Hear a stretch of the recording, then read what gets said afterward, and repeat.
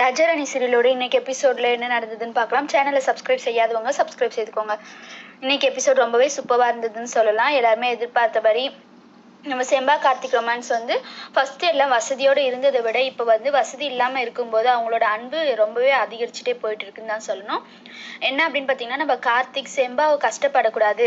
அவங்க வந்து வேலைக்கெல்லாம் போயிட்டு ரொம்பவே கஷ்டப்பட்டுட்டு இருக்காங்க அப்படின்றதுக்காக நம்ம ஒரு வேலைக்கு போகணும்னு இன்டர்வியூக்காக போயிருக்காங்க.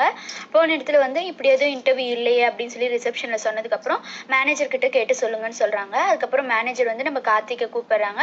கூப்பிட்ட உடனே ஃபைல்ஸ் எல்லாம் இருக்காங்க. சரி உங்களுக்கு சொல்ல விருப்பம் இல்லைன்னா பரவாயில்லன்னு சொல்லிட்டு நீங்கள் பண்ண ப்ராஜெக்ட்டை வந்து எக்ஸ்பிளைன் பண்ணுங்கன்னு சொல்லிட்டு இருக்காங்க. அதெல்லாம் எக்ஸ்பிளைன் பண்ணி முடிச்சதும் இந்த மாதிரி டேலண்ட்டாக இருக்கவங்க வந்து எங்கள் கம்பெனிக்கு கிடைக்கிறதுல ரொம்ப லக்கி நாங்கள் அதனால வந்து உங்களுக்கு ஐம்பதாயிரம் சம்பளம் உங்களுக்கு ஐம்பதாயிரம் சம்பளம் வந்து கரெக்ட் இல்லை தான். இருந்தாலும் ஒரு டூ மந்த் வெயிட் பண்ணுங்கள் நான் வந்து மேலே பேசிட்டு உங்களுக்கு ஹைக் கொடுக்குறேன் அப்படின்னு சொல்லிட்டு இருக்காங்க. கார்த்திக் ரொம்ப சந்தோஷம் ஆகிடுது. உடனே செம்பாவுக்கு தான் ஃபஸ்ட்டு கால் பண்ணி நான் சொல்கிற இடத்துக்கு வான்னு சொல்லி இம்பார்ட்டன்ட்னு சொல்லி கூப்பிட்றாங்க. நம்ம செம்பாவும் வந்து கோவிலில் வெயிட் பண்ணிட்டுருக்காங்க என்ன இந்த சின்னையா இன்னும் வரவே இல்லையேன்னு சொல்லிட்டு அங்கே இருக்க பிச்சைக்காரங்கெல்லாம் வந்து நம்ம செம்பா கிட்ட தர்மம் பண்ணுங்க தர்மம் பண்ணுங்கன்னு கேட்டுன்னு இருக்காங்க இருங்க நான் எதுவும் காசு இருந்தால சின்னையா வந்தது கொடுக்குறேன்னு வெயிட் பண்ணிச்சிட்டு இருக்காங்க.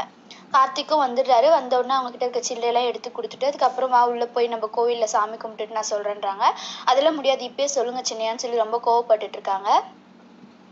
வா ரொம்ப ஓவராக பண்ணாதன்னு சொல்லி இழுத்துன்னு போயிட்டு சாமியெல்லாம் கும்பிட்டு முடிச்சதுமே சீக்கிரம் சொல்லுடா அப்படின்றாங்க. என்னது டா ஆமாடா டால்டா அப்படின்ற மாதிரி சொல்லியிருக்காங்க. என்னடி மரியாதை கொஞ்சிட்டே போகுது அப்படின்னு ஒன்று அப்படிதான் சீக்கிரமாக நீ சொல்ல வந்த விஷயத்த சொல்லு அப்படின்னும் போது இந்த மாதிரி நான் காலையில் இன்டர்வியூக்கு போனேன். ஆனால் வந்து இந்த அப்படின்னு சொல்லிட்டு சோகமாக சொல்லும்போது சரி விடுங்க சின்னையா இன்னொரு வேற ஏதாவது கம்பெனியில் வந்து பார்த்துக்கலாம் அப்படின்னு சொல்லின்னு இருக்காங்க. அப்போ இருந்துட்டு நான் இந்த இவ்வளோ பெரிய கம்பெனி இதுலேயே செலக்ட் ஆகிட்டேன் சின்ன சின்ன கம்பெனிலாம் செலக்ட் ஆக மாட்டேனா அப்படின்னு நம்ம கார்த்திக் சொன்ன உடனே என்ன சின்னையா சொல்கிறீங்க அப்படின்றாங்க ஆமாம் நான் செலக்ட் ஆகிட்டேன் அப்படின்றாங்க அதுக்கப்புறம் வந்து ரொம்ப சந்தோஷப்படுறாங்க. ஐம்பதாயிரம் ரூபாய் சம்பளம்னு சொல்லி தூக்கி சுத்துறாரு நம்ம செம்பாவை. அதுக்கப்புறம் செம்பா போட்டு அடி அடி நடிக்கிறாங்க எதுக்குடி இப்போ அடிக்கிற அப்படின்னும் போது என்கிட்ட வந்து சொல்லவே இல்லை. வேலை கிடைக்கலன்னு சொன் சொன்னீங்க அப்படின்றாங்க. நான் எப்போ சொன்னேன்? நான் சோகமாக வச்சுட்டு இருந்தா உடனே நீயே அசியூம் பண்ணிக்கணும் அப்படின்னு சொல்லிட்டு இருக்காங்க. அதுக்கப்புறம் சரி முதல்ல வந்து வீட்டில் பெரியம்மா பெரியா கிட்ட சொல்லலாம் அப்படின்னு சொல்லிட்டு இருக்காங்க. அதுக்கப்புறமா வந்து ரெண்டு பேருமே போகிறாங்க வீட்டுக்கு. அங்கே இருந்துட்டு எப்பவும் போல் வினோவும் ராஜசேகரும் வந்து பேசிட்டு அழுதுட்டு இருக்காங்க. என்னால் தான் என்னால் தான் மாற்றி மாற்றி சொல்லிட்டு இருக்காங்க. எல்லா பிரச்சனைக்கும் காரணம் நான் தான்னுட்டு அப்போ கார்த்திக் வராரு ரெண்டு பேரும் கொஞ்சம் நிறுத்துறீங்களா? என் மேலே உங்களுக்கு நம்பிக்கை இல்லையா? அப்படின்னு சொல்லிட்டு இருக்காங்க. அதுக்கப்புறமா வந்து நம்ம செம்பா சொல்கிறாங்க உங்களுக்கு வேலை கிடைச்ச விஷயத்த சொல்லுங்கள் அப்பயே கொஞ்சம் நம்ம சின்ன பெரியயாக்கு கொஞ்சம் ச- கொஞ்சம் கஷ்டம் போயிடும் அப்படின்னு சொன்ன உடனே அவங்க எல்லாம் ரொம்ப சந்தோஷப்படுறாங்க. ஐம்பதாயிரம் சம்பளம் சொன்னதும் ரொம்ப சந்தோஷப்படுறாங்க.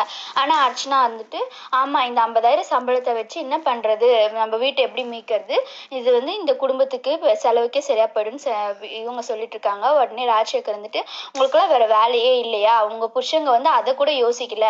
சும்மா தான் இருக்கானுங்க. அவனுங்களுக்கு அது இது பண்ணா உங்களுக்கு இதை விட வசதியா வேற வாழ்க்கை கிடைச்சா போங்க. அதை விட்டுட்டு இங்க இருக்கிறவங்க மட்டும் இருந்தா போதும்னு சொல்லி அவங்கள அனுப்பிடுறாங்க. செம்பா கார்த்திக் இருந்துட்டு ரெண்டு பேரும் கவலைப்படாதீங்க. அவங்க எப்படியோ இருந்துட்டு போட்டோம் அப்படின்னு சொல்லின்னு இருக்காங்க. இதோட என்னோட எபிசோட் முடியுது.